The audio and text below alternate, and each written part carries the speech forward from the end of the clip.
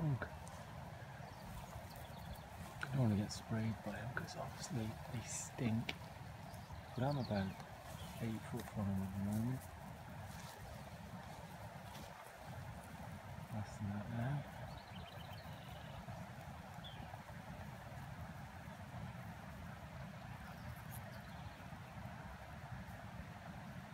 Amazing, eh?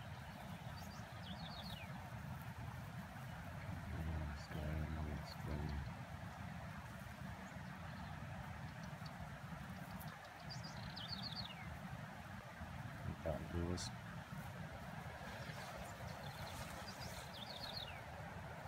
by Mr. Skunk.